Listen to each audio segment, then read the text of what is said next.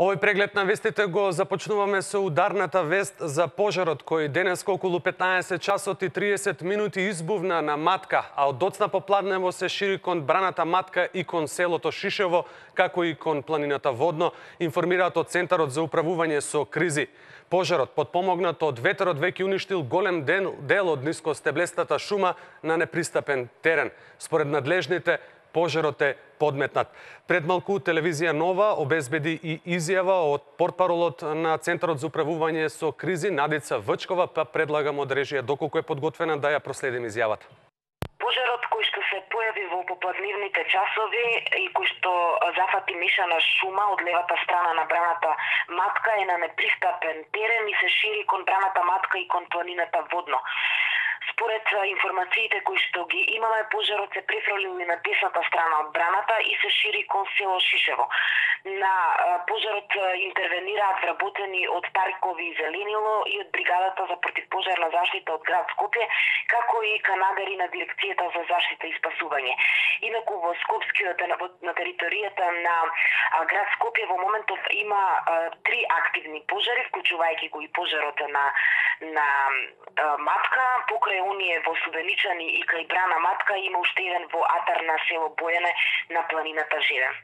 Ова се информациите кои предмалку ги добивме од Центарот за управување со кризи, а во овие моменти треба на а, телефонска линија да го имаме Звонко Томевски, командирот на противпожарната бригада од Скопје. Господине Томевски, доколку се слушаме, каква е моменталната состојба со пожарот на Матка? Добро вечер. Вака, ситуацијата со пожарот кај браната матка е ставен под контрола, значи локализиране благодарение на интервенцијата која беше навремена и екипите од паркови зеленило кои на вистина во кон што можно поскоро локализирање. Рековме дека станува збор за непристапен терен и мораше да се побара помош од авиоделението при дирекцијата за заштита и спасување кои интервенираа со два авиона и се спречи да се прошири пожарот во боровата шума над твртот што е кебраната матка. Така да пожарот моментално е ставен под контрола. Во моментов имаме две екипи од противпожарната единица на град Скопје и екипа од јавното предпријатие Паркови Зеленило кои ќе останат цела вечер да дежураат да не дозволат проширување кон нели боровата шума како што спомнавте е близко до самиот пожар. Господине Томевски, доколку добро ве разбрав, пожарот е локализиран, но се уште гори. Представува ли истиот опасност за околните села? Не, сега за сега нема таква индиција дека може да биде опасно за околните села. Ви реков, станува збор за каньон, каде што е стварно непристапен терен. Имате ли првични проценки колку од нискостеблестата шума каде е пожарот на матка се изгорени до сега? Па, по слободна проценка не е околу хектар и пол. Така. Остануваат ли против пожарните е, бригади на Матка да. и во текот на оваа вечери, дали во моментов против пожарните екипи на град Скопје се активни и во селото Студеничани?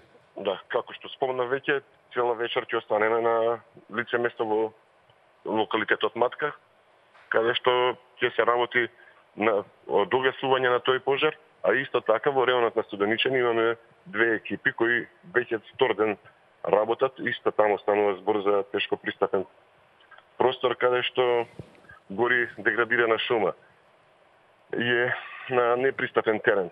Ма, макар се прават напори да се стави во некои рамки, сето тоа да не се дозволи ширење кон шумата што е во непосредна близина. До сега со успех се справуваме со тој пожар, али станува за стварно непристапен терен каде што не може да се интервенира ни со возило, а, во моментов тие две екипи го ставија во некоја контрола и не е дозволено проширување.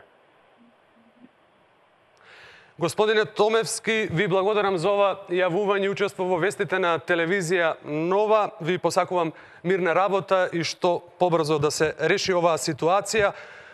Телефонски го имавме Звонко Томевски, командирот на противпожарната бригада Скопје, кој не извести дека Пожарот во Матка се уште гори, но е локализиран, не постои опасност за околните села во овој регион, а противпожарните екипи на град Скопје се активни и во селото Студеничани. Во овие моменти ми јавуваат од режијата дека го имаме и имаме и во живо снимка од она што во овие моменти се случува во Матка. Да подсетам уште еднаш, пожарот избувна денеска околу 15 часот и 30 минути, а доцна попладнево веќе се прошири кон браната Матка и кон селото Шишево, како и од делот падината на Водна. Овие информации предмалку не ги соопштија и од Центарот за управување со кризи, од таму имавме изјава од Надеца Вчкова. Имено во текот на денот, како што информираат и од е, противпожарната бригада во Скопје, делуване со два противпожарни авиони и армијски хеликоптер.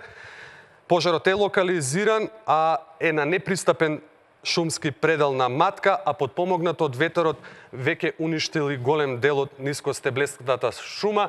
Телевизија Нова во овие моменти, како што гледате, обезбеди и снимки во живо како е ситуацијата на терен. Она што е важно е да се знае дека пожарот е локализиран, но се уште гори противпожарни екипи на град Скопје ќе останат и вечерва до доцна на терен се додека пожарот не биде изгаснат.